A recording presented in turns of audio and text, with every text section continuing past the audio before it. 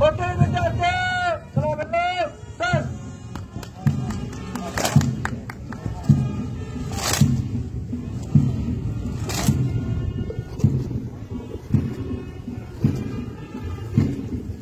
सभी उत्तीर्ण नवरक्षियों द्वारा भारत और भारत के संविधान के प्रति सच्ची भावना निष्ठा